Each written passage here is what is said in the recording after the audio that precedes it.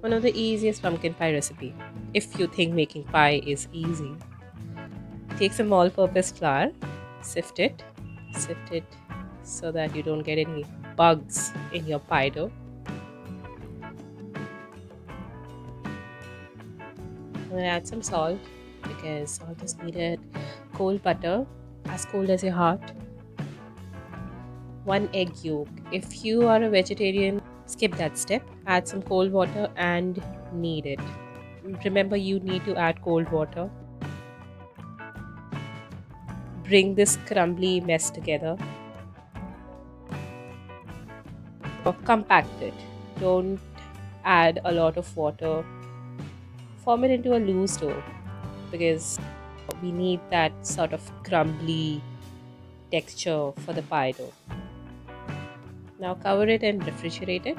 This is a very important step for at least 15 minutes. Uh, did I say 15? That's 20. You need to press and roll the dough now. Use a rolling pin if you are like very interested in using your hands. You can use that too. I am not exerting a lot of force. I'm just lying. I'm actually exerting a lot of force. Make sure that your dough is thin. Now laid out in the baking pan.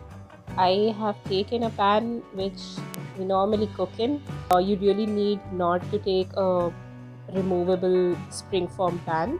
Now I have cut the edges so that it looks more presentable because it's a pie. Come on, I'm not a cave woman, caveman, cave person. Now you need to punch holes using a fork in the pie dough before baking it so that it doesn't rise while baking. Cover it with a butter paper, butter paper, butter paper. Now we'll put on some pie weights. You can use anything rice, chickpea. I'm using chickpea. Now you need to bake it, really bake it for one hour at 215 to to 230 degrees Celsius. After it's done baking, you need to rest it for at least 20 minutes and then take out the pie weights. At this point, the pie dough is like really soft. It's par baked. You need to rebake it so that the shell thickens at the same temperature as before for at least 30 minutes. We'll take a ripe pumpkin, de-seed it. Let the pie shell to cool down at this point and we'll prepare a pumpkin puree. Make sure that it's cleaned properly. We'll set it aside and now peel it and chop it. Well this is a very necessary step. We'll take some butter in a pan. Butter makes the pumpkin taste amazing honestly. Melt it. Don't burn it. We'll take all our chopped pumpkins and add it to the butter and really cook it and soften it. At some point, you can add water. You can choose not to add water, but it really helps in the softening process. This is better than baking because it cooks the pumpkin really fast and it doesn't use a lot of your electricity. Save that electricity bill, honestly. You have to like cook it for like 15 or 20 minutes and it's done.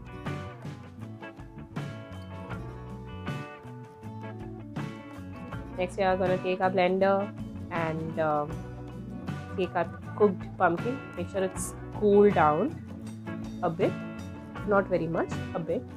And uh, you can add some milk if you need to blend it like really, really smooth. Yay! Look at the baby food. Pumpkin puree baby food. Add it into another bowl I have added some powdered sugar. Now uh, mix it. Look at that amazing color. So I'm not gonna lie, the pumpkin was a little warm at this time and the whole sugar melted. So it took me a bit more time to bake the whole thing. But yeah, it doesn't make a lot of difference. Add four eggs.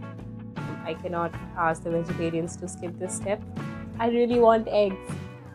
I've changed from a spatula to a whisk yeah, that's more like it. Thank God for subtitles.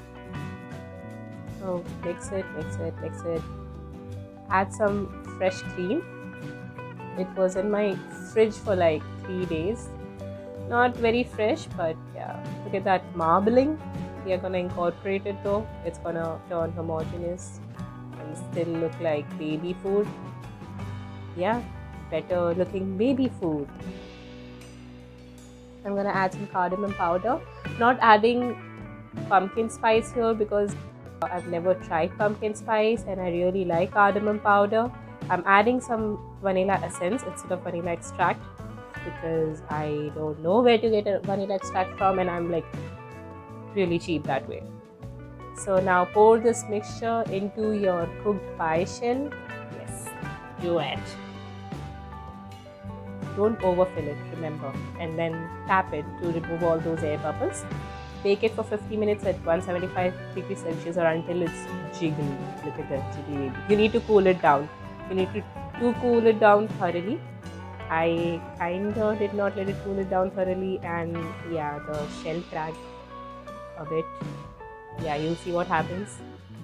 Don't do this. Don't let it happen. Yeah, but it was amazing. Honestly, amazing. So the recipe is in the description. Enjoy it.